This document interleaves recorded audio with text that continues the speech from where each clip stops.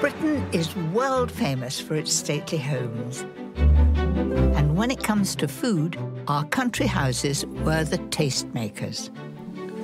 Curry and cockles, it's an absolute first for me. In this series, we'll sample delicious dishes They look wonderful, Mary. and enjoy the lavish hospitality that these homes were celebrated for. Absolutely stunning.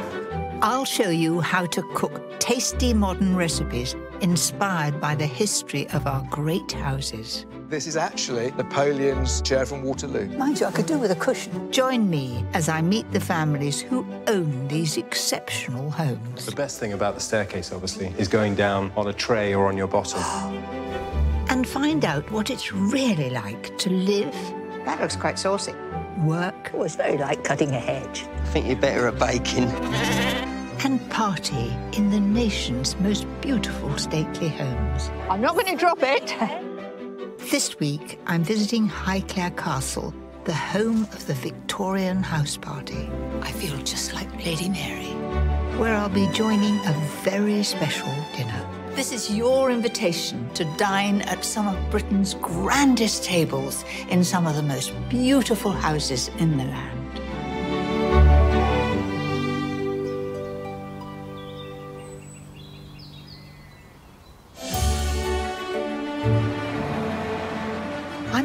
Hampshire, 60 miles west of London. I'm on my way to explore one of the most significant houses in England. It's Highclere Castle, although it's probably better known to millions of TV viewers around the world. Wow, as Downton Abbey. There it is, peeping between the trees, Highclere Castle.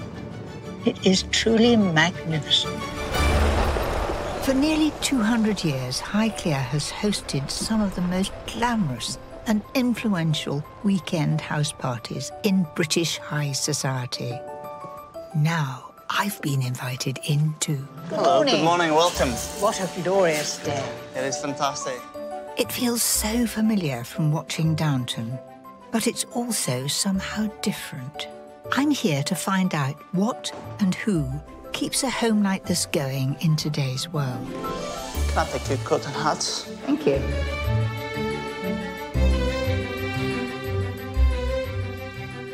I'm meeting Fiona, 8th Countess of Carnarvon, who lives here with her family and seven dogs. Quite a welcome. How lovely to meet you. What a treat. I am thrilled to be here. Well, thank you for coming. Hello, what a family you have. Hello, I'm you. so and very this is one of your puppies. This is little Evie, and she's just like a little lapdog, aren't you? She's very cuddly. Hello, Poppet. Well, you know why I love her because I have Darcy at home, and you look as though you're first cousin. Isn't she lovely? So, how long have your family been here? Since 1679. So the family been here for sort of 350 years. And before that, it was owned by the church. People have lived here since 749 AD. So I'm looking after something which is stately and something which is a home, which matters a lot to me. And sharing it with friends and family, what is more important? And it's living in the now for something I'm trying to preserve for the future. And so, how many can you have to stay here? Hello, I- Poppet. Yes. I'm happy having, I suppose, about 20 people to stay. I think that's enough. I'm not a hotel. But there are two to 300 rooms in this house. Wow. So it's, um, and So there are. What happens behind that gallery up there? Well, the main bedrooms and all the guest bedrooms run all around this gallery. And you can walk round down the stairs and pretend you're Lady Mary if you want to be, or some of the, you know, illustrious guests from the past. In the Victorian era, Highclere Castle was renowned for hosting the most prestigious weekend house parties. The weekends were partly for matchmaking among the gentry, but the house parties also had a major influence on business and politics. You're very famous for your house parties. Tell me more about them. I think the weekend house parties began because he, this Highclere provided an environment where cabinet ministers, politicians, diplomats could sit and discuss over dinner challenging matters of the day. And for example, the fourth Earl drafted the Canadian Constitution here, which became the Dominion of Canada on the 1st of July, 1867. It's a home that oozes history. And the fact that it's only a short distance from London no doubt allowed the more powerful guests to come and boosted the impact of the parties held here. Mary, would you like to see some more of this house? I would love to. Then let's go this way. OK, come on, chaps. Everybody come. Highclere was designed with entertaining in mind.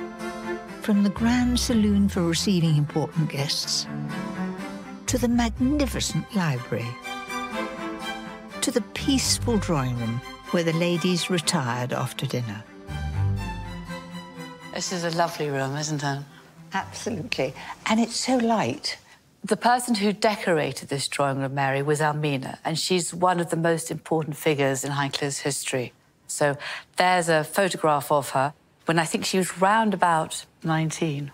And she was the illegitimate daughter of Alfred de Rothschild. She was his only daughter. He adored her. So when she married the fifth Earl of Carnarvon, with whom she was madly in love, he gave her a dowry with some £500,000, which in those days was such a lot of money, perhaps 60 million pounds in today's terms. That'll do a lot of restoration and building and whatever, wouldn't it? The fifth Earl married an heiress. Jolly useful thing to do. In the 19th century, Highclere was the house to be invited to. I'm told that Benjamin Disraeli, soon to be Prime Minister, and even Prince Bertie, the future king, have parted here. But entertaining on that scale required more than beautiful rooms. It required staff. And through an unassuming door in the corner of the saloon lies another world. This is the Green Baize door. So this was to muffle the sound. It was. So we're now in the staff part, and these stairs go the whole way up. So the housemaids and the footmen could operate with never being seen by the guests or the family. Look at the number of stairs up here. It's extraordinary. You Goodness gracious, it's almost to heaven. you didn't need the gym. No. These stairs must have been busy. I'm told there used to be more than 50 household staff. There were chambermaids upstairs and cooks in the basement kitchen, where Lady Carnarvon takes me next, an astonishing 60 metres away. Goodness gracious, this goes on forever. This part hasn't been really seen on television because Downton filmed all the kitchen scenes in Ealing Studios. And our own kitchens have been where they've been for a thousand years, but they really are used today to cook for all our tours and dinners. So they chose to create the um, kitchen scenes elsewhere. Well, I'm privileged. I'm seeing something that the viewers didn't see. It's the last part of the journey into the kitchen. We're nearly there. It's a fair-sized kitchen. It's a great kitchen. It strikes me that it's an awful long way to the dining room. I should think that how you keep the food hot, I don't know. I gather Mrs. Mackey, one of the cooks in the 30s, used to chase the footman down the corridor saying, run, run. Oh, gosh. So... It is very tall, so the kitchen wouldn't get too hot. And the windows are all quite high, so you've got maximum wall space. In most old stately homes, the kitchen would be north facing because then there was less light and the food was less likely to spoil. It would stay cooler. And you've then got an awful lot of space to cook in. It's a very practical, well designed kitchen. And the plates there. Now, is this the crest of the family? Yes, we've just had them made again. This is a brand new set. And I've copied Almina, the fifth countess's design, more or less. So it's quite fun, isn't it? I've done enough for a small group of friends. I've done enough for 80 people to sit down. 80 people. but they're beautiful. So how important was the food for the reputation of the house? To me, the food we deliver, the dinners, the suppers, they matter enormously, and I want people to enjoy it and to be impressed by Paul, our chef's cooking. He's excellent. And so, still today, you use this kitchen that's so far away. There's not a day that I don't come into this kitchen. But now you're here, Mary, I really hope that you might cook with us as well. And I really look forward to that. I'm itching to get going. Will you give me a hand? Oh, I would love to, Mary. Thank you. Since afternoon tea was an important part of the weekend house party, I think we should make an indulgent tea time treat. My raspberry tartlets with creme patissiere. The creme patissiere couldn't be easier to make. Start by warming 150 ml of milk with some vanilla extract. Heat the milk until it's scalding hot, so you can just put your finger in and, and lift it out again. Meanwhile, I'm going to put an egg in here. Do you have hens here? I do have hens. Nothing better than fresh eggs. Different colours white eggs, blue eggs, brown eggs, and different sizes. And I used to have a hen which laid green eggs. Did you? Very which was- unusual which was hen. Very unusual. Very good for boiled eggs for breakfast. Add 25 grams of caster sugar and 25 grams of plain flour and whisk it all to a stiff paste. Just until it's smooth. There it is. And then I'm going to put the milk into there in two lots.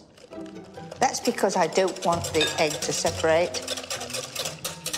That looks smooth to me, and then in goes the rest of the milk. Now that is, it looks like a thin custard. But it'll thicken up nicely as soon as I put it back on the heat. How about you giving it a jolly good beat? A bit of welly in there. You know, in earlier days when we didn't have machines, the cooks used to have huge, great muscles, didn't they? But there's a fruit biscuit recipe from 1811 we've got, and in the middle it says stir for two hours, which seems a bit extraordinary when they're making it. I do think it's just I think you've done really well. I want it really thick, and we'll put some cream in it. how delicious. Let the mixture cool thoroughly, then whisk in 75 ml of double cream. So the creme patissiere is made, and I reckon it tastes. Can I taste it? It's my best special roll. That's delicious, actually. And the cream is absolutely scrummy. I like to make my own shortcrust pastry, but you can buy ready cooked cases if you're in a hurry. Then it's just a matter of placing fresh raspberries on top. This is my smiley face. There we go. Two eyes and a mouth. I'll do it properly, I promise. But anyway. I can see you like having a good play with the children Oh, when dear. you're baking. yes. And for the glaze, heat some raspberry jam with a little water. and that will slacken it down and we just push it through the sieve so we don't get the seeds. And that's it. And the aim is to put sort of minimum on and let it just run over. It's really to give a shine. That just looks perfect. Well, it's been lovely having you as my sous chef. Oh, thank you, Mary. Come along. Now's my chance to really play at being in Downton Abbey. Taking afternoon tea with a countess. This must be what it was like to be entertained here back in Highclere's house party heyday in the late 1800s. They look wonderful, Mary. You are clever.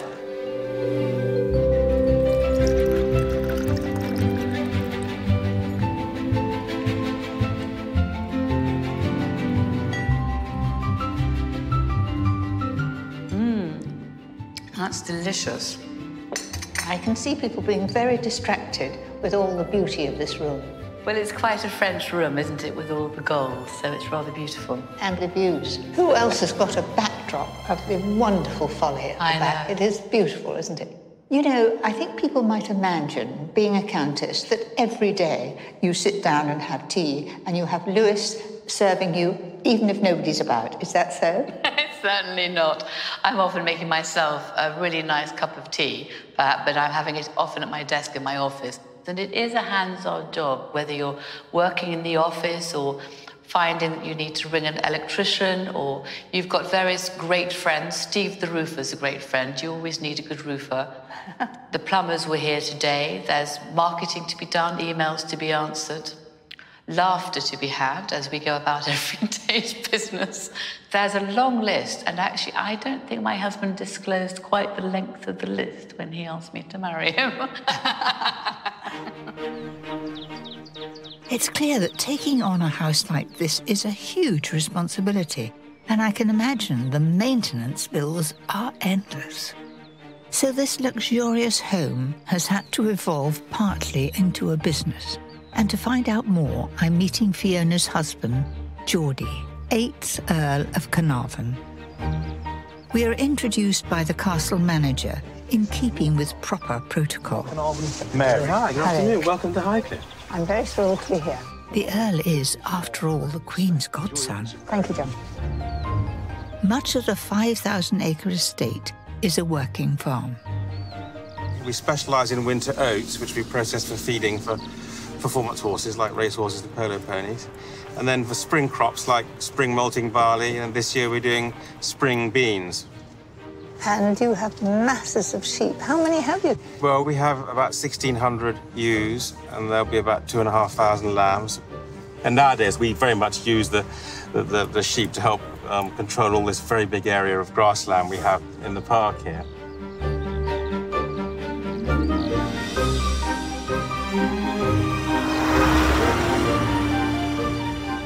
This beautiful parkland, as well as being part of the house, is regularly open to the public. Highclere also has a long standing reputation for hosting top quality game shooting weekends. Highclere's been involved with game shooting all the way back from the end of the Victorian and, and Edwardian period when it, when it was one of the sort of heights of recreational and entertainment for country house parties and that kind of thing. So, is shooting the main part of the business here, or is it just a small part? Well, I wouldn't say it's a, a, a vast part of the business, but I would say it was a, it was a relevant part of the business, especially with the seasons, Mm-hmm. and also because the game doesn't get used in restaurants, and we serve game ourselves here in the And castle it's in the autumn. good for us. It is. It's very low fat, natural, Yes. low cholesterol, and very tasty. And, and as you know, you, you, you can cook it in many different ways. Pheasant shooting is out of season between March and October. But the gamekeepers stay busy clearing woodland, rearing birds, and training their dogs. Lord Carnarvon introduces me to gamekeepers Eddie Hughes, Tom Hibbard, and Val Maskell. Hello, Valerie. I have never seen a bevy of spaniels behaving so beautifully. Yes, they are perfectly disciplined and, and, and well behaved. They're all so quiet and happy, aren't they? And no profit. Like my Darcy, these dogs are all spaniels, a breed which originally came from Spain, hence the name spaniel. They've been used as hunting dogs since at least the 15th century, with Springer Spaniels trained to flush or spring birds from their ground nests. The smaller Cocker Spaniels tended to be used for hunting woodcock. Val Maskell has been training and breeding gun dogs all her life. So, Val, how long have you been here at Highclere? Um, well, I've been here nearly 20 years on the estate with Eddie. Gosh, that's a good, a good innings. And so, when do you start training the dogs? Do they have to be a certain age? Well, I start to train them as soon as possible. I always live indoors because somebody tried to steal them one night when they're out in the kennels. You know, we don't want to take the risk of losing them. And I bet they'd rather be in your kitchen than anywhere else. They certainly would, yes. Yes, lot, And- lots more cuddles. So, are you going to put them through their paces? Yes, we let them hunt around and then we'll fire a shot. Mate, They all have to sit down and then we'll throw a dummy for them. And then one dog is selected to, to fetch that dummy and bring it back to me and put it in my hand. okay.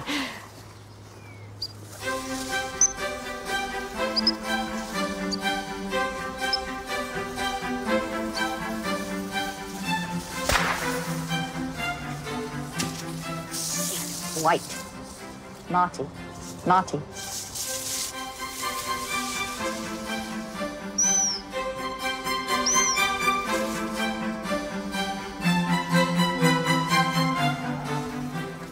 Oh, you clever boy. Good boy. Sit there. White. A wonderful job, Marty. Well done, Marty. Good boy.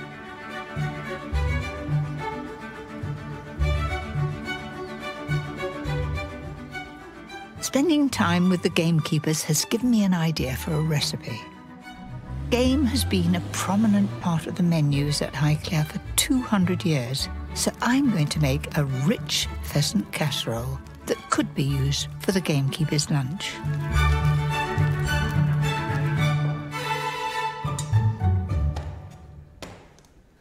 first of all, I'm using a big pan and I'm going to make sure that it's hot before I fry all the meat. So I'm just turning that up. And I've got a brace of pheasants here. I've got prime birds. Put a little bit of oil in the bottom, just enough to cover the base. Expect to sizzle because I've got this pan hot.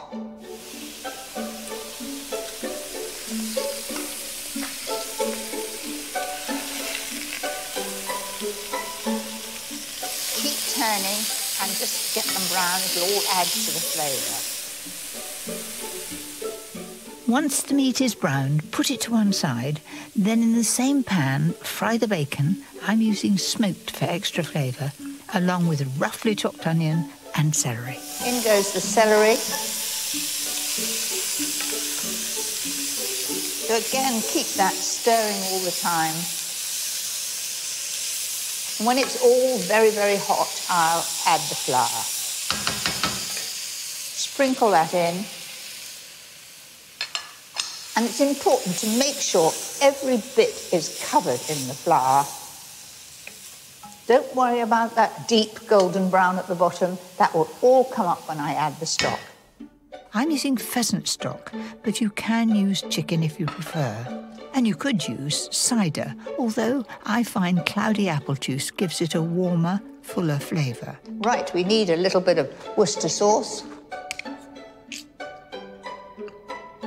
That just sharpens it up. Little red currant jelly. Any fruit jelly will do, just whichever one you've got in the cupboard. Doesn't really matter. Add seasoning and fresh bay leaves. There they are. Then I'm going to tip all the meat in there. Now that is quite a good colour, but it's a little bit grey, so I'm going to do a little bit of gravy browning. Just a dash. Go easy on it because it's quite dark and it's just caramel colouring. And that really does look rich and good. Then it needs simmering on a low heat for around one and a half to two hours until really tender. Mushrooms go in for the last half hour so they stay firm. Then it's ready for the gamekeepers. I'm serving it simply with green veg and mash to let the pheasant flavour shine. I hope you're starving because I've been toiling away all morning and I want you to eat it all. Right, can you take the little yes. blooming hot? There we are, Val. Yeah, I know you went without breakfast this morning, so you must be starving.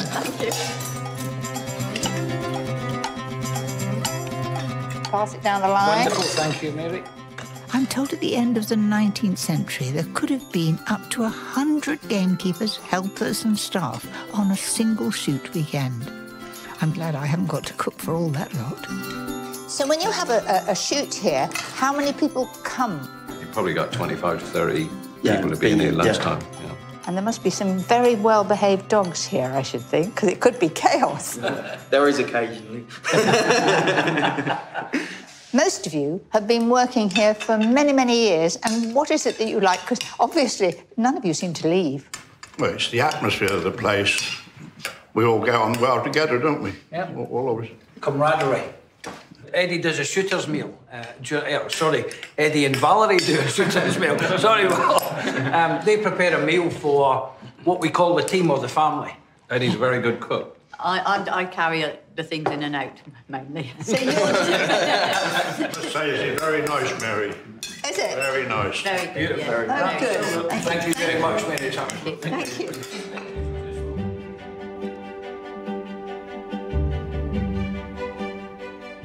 The top-class shoots were a key feature of the weekend house parties that made Highclere such an influential and sought-after place to visit. And it was the fifth Countess, the young Lady Almina, who, just months into her new life here, had to host perhaps the most influential guest of all.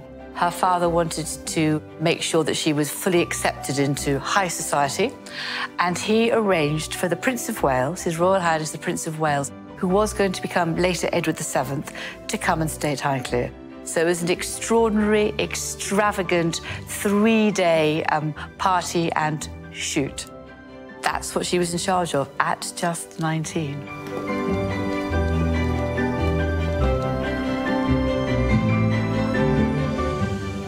Lady Carnarvon shows me the bedroom that Almina had redecorated specially for the future king. All in red, very royal. So these are the original silk wall hangings from 1895. Good gracious, they, it must have been a very good quality to have stayed this standard. And I think this bed was brought in for the Prince of Wales. It doesn't look so big today, but yet king size sheets don't necessarily fit it very well. It, it is quite a large bed. The prince was a very robust man, was he?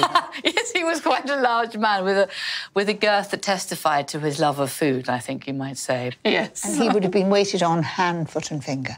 Completely. He demanded the best. So, the best bedrooms, the best decorations, the best food, champagne, wine. So, if you had him to stay quite often or longer than a weekend, you know, you could find yourself dipping deep into your pockets to try to pay for it all. Luckily, with Almina's huge wealth, she was able to go to town for this very special weekend house party.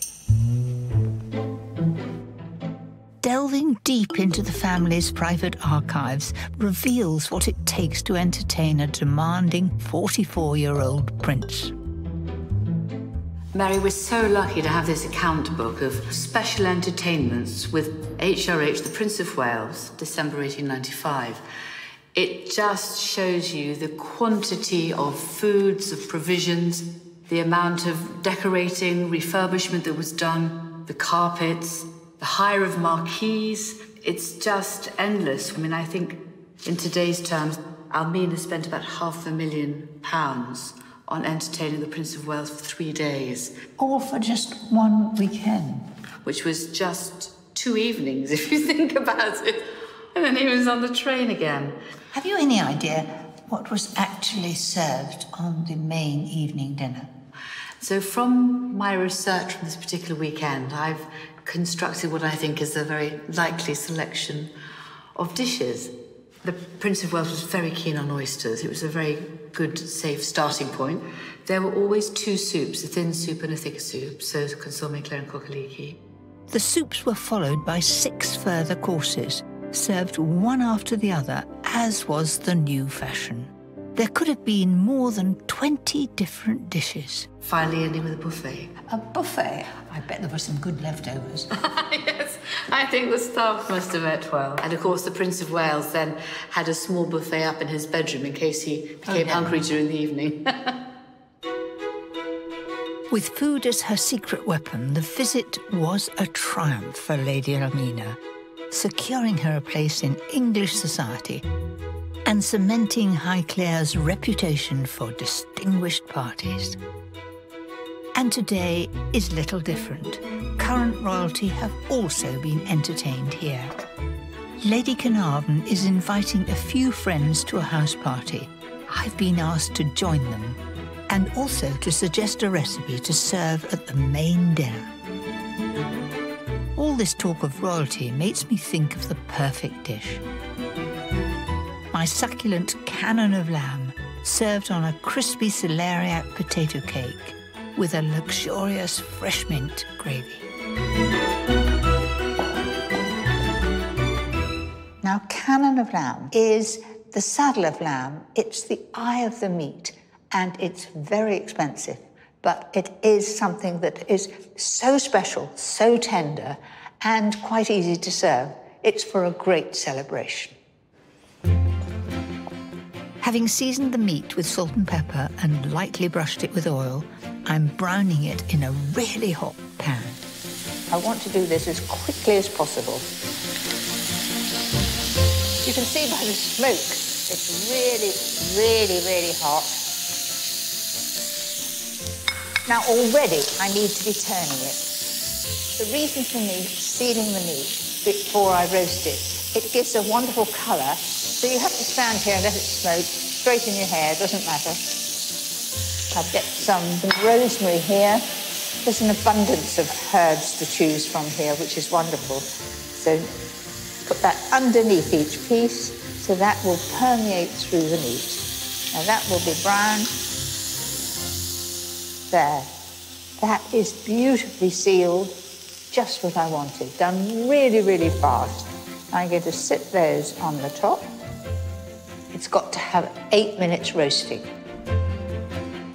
So in it goes to a hot oven at 200 degrees fan.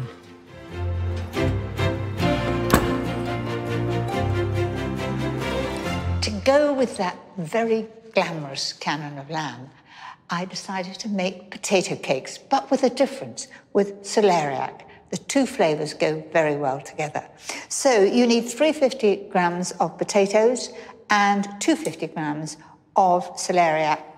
I've grated the potato and the celeriac using the coarse grater, put it in a tea towel to get every little bit of wet out of it. This is something that's got to be done at the last minute, otherwise the celeriac goes brown. So salt and pepper. Divide the grated veg into equal-sized piles and squash them down to make patties. You've got to be firm and you've got to use force and it will begin to stick together. That's it. It's the starch in the potato which is holding it all together. Then they're ready for frying. But make sure your pan is nowhere near as hot as it was for the lamb. Notice how I'm pushing the sides in so they don't all join up. And good news, you can make these ahead and reheat them.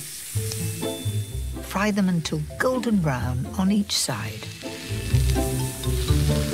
Cook them too quickly and you'll find that they will burn underneath and it won't be done in the middle. So I've turned the heat down and doing them very, very gently.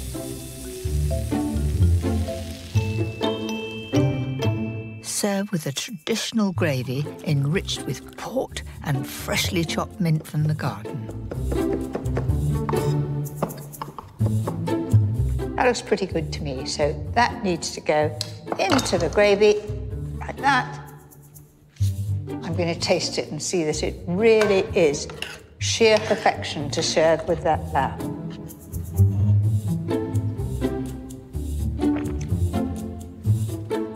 Pretty good. To me, that's a dish fit for a prince. I can't tell you how thrilled I am that I'm going to be at this great dinner party that Lady Carnarvon is going to give, and she's chosen to have this wonderful lamb dish. I so hope they enjoy it.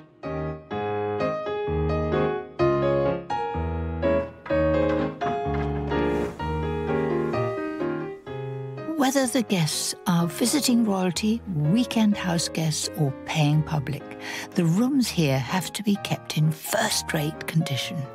There's a never ending list of jobs that keeps the 14 household staff rather busy. It'll look much more spectacular here. It was rather hidden around a corner before. It's got really good light here, hasn't it? I think it's pretty good to keep out of the way here. It must be very, very heavy. It's the frames, and my goodness, David, that's very high. And the, the top is a picture rail there, is it? And it'll hook over. There is. That's it down. That's it. The other down. Okay. Happy? No, left a bit with your left hand, David. It's not quite vertical. Is it tipping down on the top left-hand corner a little bit? Yes. Looks like. It's a bit cockeyed. Don't drop that. Happy? Yeah, I think so, John. Actually, brilliant. Thank you very, very much. You've got a great team of people here. Who are they all and what do they all do? I have. Well, I don't know. Matthew, you do multitasking, afternoon teas, help me with dogs, feed the chickens when I can't do that. I can't think what you came here to do, but that's what you do oh, now. I'm doing what I came here to do. Come on, what was the job description like when you came? No, I think it was pretty much whatever I needed to do. Oh, good. Walking dogs, helping butlering in the castle, and then it's just grown since then. And which part do you enjoy most? It's all of it. It's very varied. So it's fun. It is really good fun working here. And then Pat, I don't know how long you've been here for, which way exceeds me, doesn't it? 57 years now. 57 years? Yes, yes. Gosh. We do painting and decorating all the way around, whether it's in the castle or around the estate. I hope you're not going up ladders. No, thanks to Lady Carnarvon, no, I don't anymore. she banned me. Right. So how many have you got in your team? There's three of us. Mike is one and young Richard's the other. I call them the boys. The boys? One, you... One's coming 80 and the other one's coming 48. One's coming? 80. I come for 75, so... And no sign of retirement? No. Not allowed to? No. I'm just going to say I, I, understand that, I can yes. tell you. You just keep going, it's much yes. better. And then on a Friday, every so often, we all have fish and chips together. Lovely. Pat goes and gets fish and chips from the local fish and chip shop, and we sit down, and wherever we are... We hide. Well, that's good. Yes. My husband doesn't think I should be having fish and chips, but I think it's excellent. well, it's a great thing to share. And then John Gantel, who's our castle manager, which I, I'm not quite sure what's on your CV either. I'm not quite sure I've got a true job description either, but it does include everything. We do some large events, and that takes a lot of planning. The team are a relatively small team, very hard working, and you've got to have some good good humour and good nature in it. Otherwise it just doesn't gel. And that's the magic gel that makes it work for us all i think. And after a hard week everybody has some fish and chips. I like that idea. I've never been invited, so I, I, will know that. I will uh, look, look more diligently at Friday lunchtimes uh, for my fish and chip invitation. Have I put the cat amongst the pigeons? yes, I think you have. It's all bad. It looks as though you might have to have somebody else yes, adding I to think I might, Mary. Cut!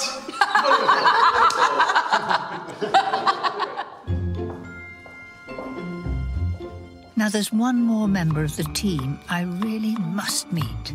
Paul Brooke-Taylor cooks for the family as well as for public events. Right place, right time. Absolutely. Lovely to meet you. You too, Mary. Thank you. So, how did you come to get here?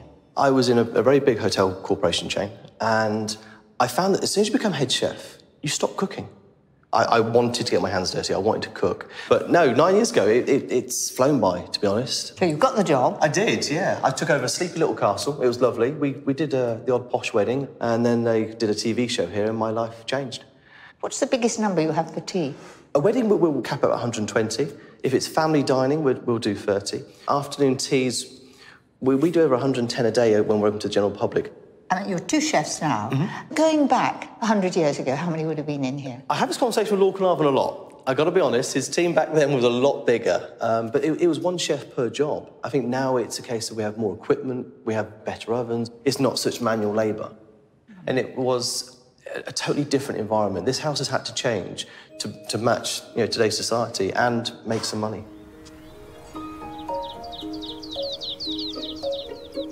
Opening the house to the public is a relatively recent change, but the Carnarvon family have been in the public eye throughout their history. None more so, perhaps, than Lord Carnarvon's great-grandfather, George Herbert, the fifth Earl.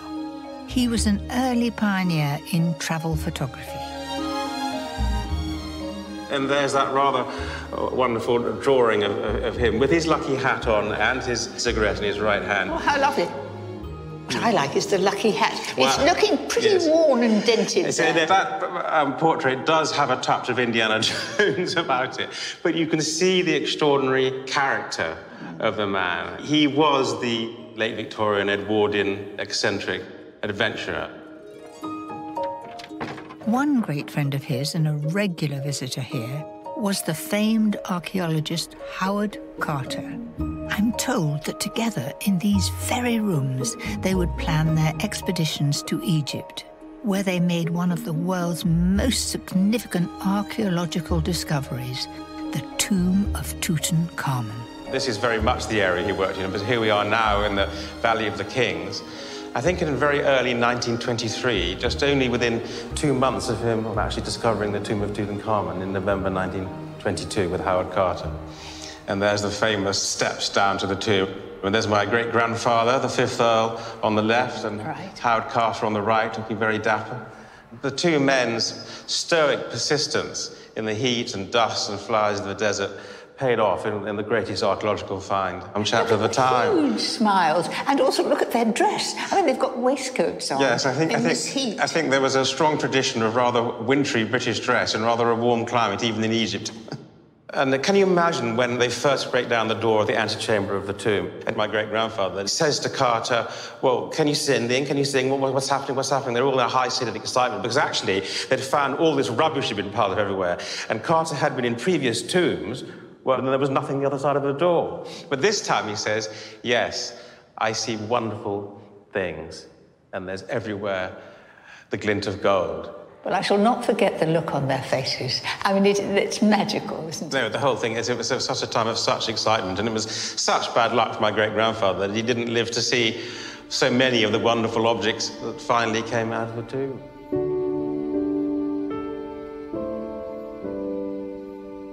He went off to take a few days' rest down the river, which was when he was bitten by the fateful mosquito in March 1923. And what happened after that? Eventually, he, he returned to Cairo with blood poisoning, but sadly, in the end, succumbed to pneumonia. And he died in the hour of, of, of his triumph, and, and, and because he never actually saw the wonderful golden mask. Nonetheless, Lord Carnarvon was assured of a place in archaeological history. When you were a boy, was it very exciting growing up with all these stories? Well, the strange thing was, I used to wonder a lot about all this, but my grandfather was very reticent about it. Really? And, and, he, was, he was the one that, that, that, that um, hid quite a number of these incredible objects that we have here in dark cupboards between two rooms, and no one was ever allowed to see them, and he blocked up the entrance either, either side. I think he, he was very upset by the fact, fact that his father had suddenly died when he really was quite, quite young. And, and, and, Egypt had, out of the blue, taken something um, away from him and totally changed his, his life. And, and um, my grandfather was just quite quiet about his father's work. Thankfully, the current Lord Carnarvon keeps replicas of his great grandfather's finds in a public museum deep in the basement, a tribute to this remarkable chapter in Highclere's history. Gosh, that is sheer magnificence. This is the glorious middle coffin because the actual embalmed body was found nested inside three golden coffins, and this one's known as the middle one. It was absolutely covered in, in what's known as a Rishi effect of semi-precious stones. And you see all the glory of all the, the colours, the reds, the blues, and the gold. Well, it, it is absolutely spectacular. Wow. There it is. I know it's a replica, but isn't it magnificent? It's an extraordinary replica to scale of the real golden mask. And this weighs around about 11 kilos, and it's, an extraordinary amount, amount, amount, of gold and one, one beautiful artistic object of the face of the boy king. Remember, he died when he was only about 19 or so. It's so beautiful and gentle. The actual features. Yes, they really are extraordinary. It's, it's one of the world's greatest objects. But the days of grand discoveries, sumptuous living, and weekend house parties at Highclere were numbered. The Second World War brought turbulent times, and the current Lady Carnarvon, a keen historian, has been unearthing some of the castle's wartime stories. She's arranged an expedition to show me evidence of an aeroplane that crashed here. Her team of plane hunters includes metal detector enthusiasts Paul McTaggart and Robert Coleman, and retired Concorde pilot Steve Bowhill Smith. What are we looking for? What are we expecting? Well, Mary, we've got a, some photographs to show you. It's um, a B 17 which is called a, a, flying fortress and crashed up on the top of the hill. There were usually about um, 10 people on board, but this was a training flight and they had uh, only seven on board. And to search for it, we had to get permission uh, from the MOD. You have to have a license. Really, on your own land? Yes, oh, it's, um, it's, called the Protection of um, Military Remains Act. So we had to do it properly. We had to get the landowner's permission, and then we had to get the MOD's permission as well.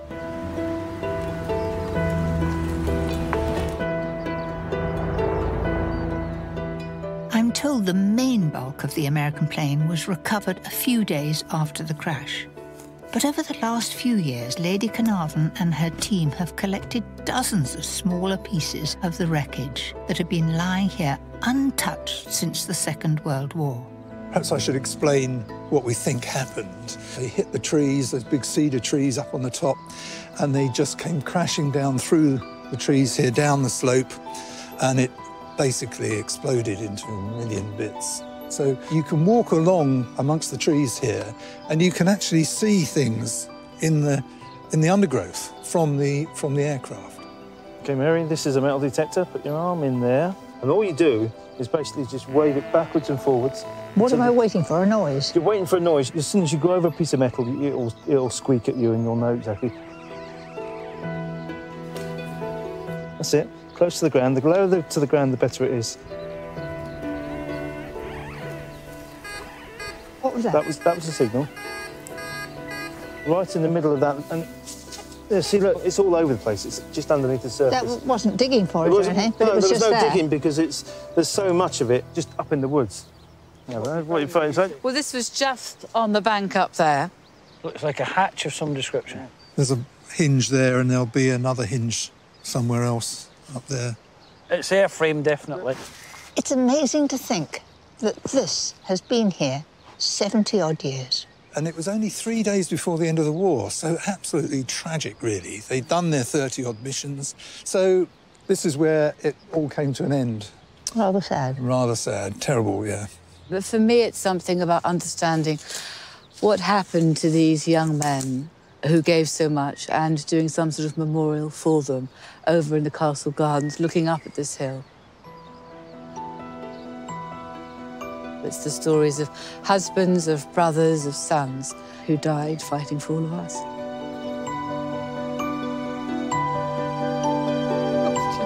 We're heading to one of Highclere's follies, known as Heaven's Gate.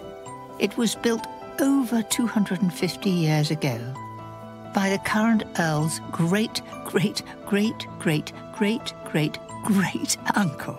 With truly breathtaking views over the estate, it's a fitting place to reflect on the changing fortunes of Highclere since the Second World War. What was the impact of the war on Highclere? Highclere was commandeered by the Ministry of Health and it became home for evacuee children. So suddenly there were between 25 and 50 tiny children aged three to five living on the top floor of the castle throughout the war with their teachers, nursing assistants. So the chef, therefore, was now cooking for 80 people a day breakfast, lunch, and high tea for the children. It was a time of hardship. You had to really look after the food you were growing. Nothing was wasted.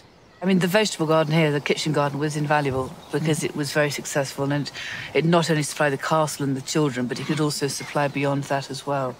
After the war, things changed for the great estates, is that right? It did. There was no money, no resources. Rationing still continued. It was a very tough time, so no one could afford to employ anybody either. And nor could you repair anything because there was nothing to repair anything with. It's amazing this house survived because I think during the 1950s, a lot of great houses of England were knocked down or destroyed. What a sadness that was. The post war era marked a turning point for Highclere's lavish house parties. The prestigious and glamorous weekends that sparked off adventure, shaped politics, and even created a country. In order to survive and prosper in the modern world, the house had to change. It had to become more businesslike and open its doors to the public.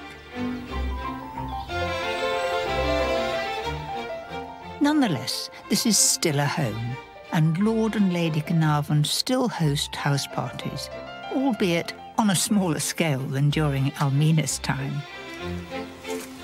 And so tonight, I will be able to witness this wonderful home in all its dinner party glory. But first, I've been asked to choose our pud.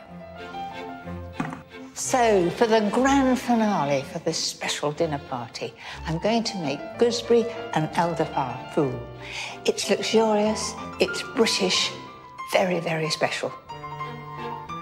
It's a classic English pudding, served at country house dining tables for hundreds of years. I'll be serving it with a delicate honey biscuit made with local honey. In the pan, I've got 500 grams of gooseberries, 100 grams of caster sugar, a bit less if you like it sharp, and three tablespoons of Lady Carnarvon's homemade elderflower cordial, though of course you could buy it. Now I'm gently cooking that, squashing them down. You notice that I've got green gooseberries. If you're cooking with gooseberries, always pick them young and green. They're very bitter to eat like that freshly, but they're much better for cooking. When they're soft, take the pan off the heat, remove about a quarter of the mixture to use later as a topping, then blitz the rest into a mush. There we are. That's a mush. But if you put that just with the cream for a fool, you would have lots of pips which aren't very nice to eat. So that's why we're going to sieve it. You just need to force it through. So keep pressing now look at that. That is just pips, and I'll just discard it to one side. There we are. Before you can mix it with the cream to make the fool, you'll need to chill the puree in the fridge until it's nice and firm. Traditionally, you would add all double cream, but I've decided to make it a little bit sharper by adding yogurt. And I've got uh, a 100 ml of full-fat yogurt and 200 ml of whipped double cream. Start with pouring cream, it's easier to whip. So in it goes. Then I'm going to add the cream. So just beat that in like that, just until you've got no streaks. That's it. That looks perfect, a lovely smooth consistency, and I can smell the elderflower. Serve in elegant glasses and top with the reserved compote. And then, just to finish it, a little mint. Fresh from the garden. Don't always think of mint as being always to go with lamb. It's lovely to have uh, on a pud. Just gives it a lift. So there you have it. Our wonderful, luxurious British pud, all ready for that very special dinner party.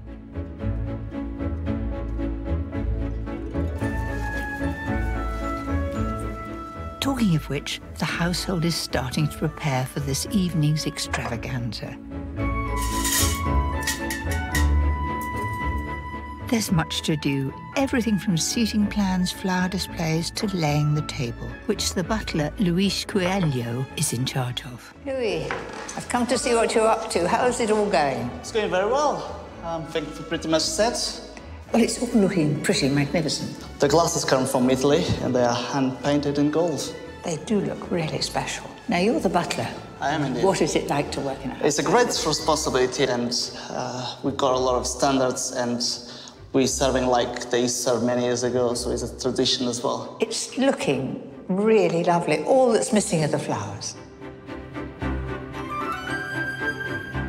Five acres of gardens and greenhouses at Highclere provide a ready source of fresh flowers and plants to decorate the state rooms on special occasions. The gardens used to be tended by a team of over 20 gardeners. Nowadays, it's just Paul Barker and his team of two who ensure a year-round supply of floral colour. Lady Carnarvon has been arranging flowers from the garden to provide a centrepiece for the sumptuous dining table.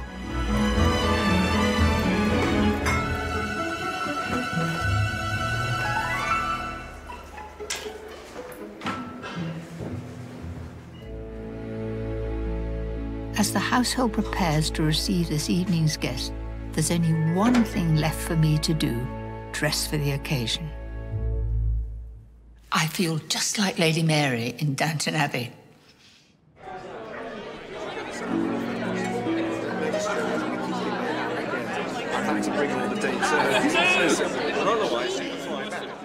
At the end of the 19th century, Highclere was the epitome of luxurious entertaining.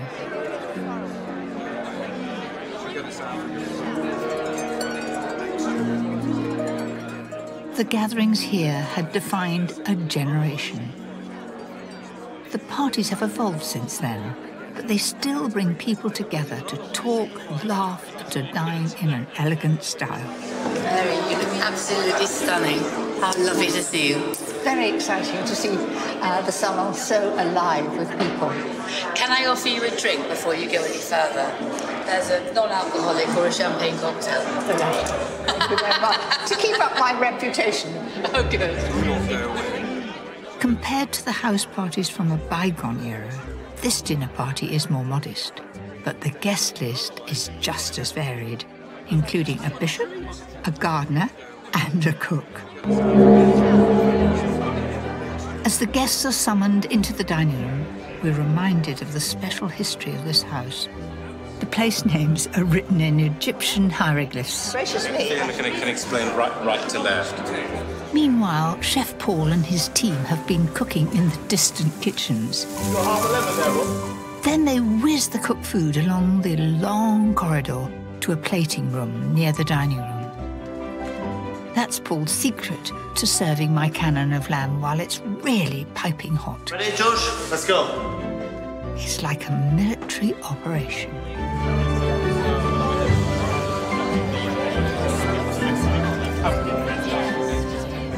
Centuries old traditions of hospitality meet entertaining in the modern world. It's a rare glimpse into the private side of a very public house. You are a wonderful family, and thank you for welcoming us. You're so kind, and, and, and we've really enjoyed this week as well. It's been great to have you. Thank you.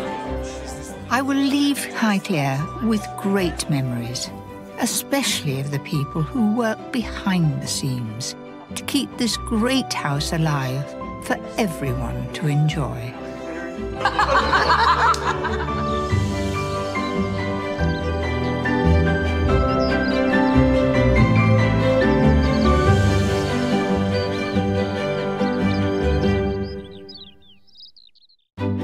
Next time, visit Scone Palace, Scotland's crowning glory. They were crowned on this very stone. I'll cook up a feast fit for royalty I reckon you might have topped the chart with that.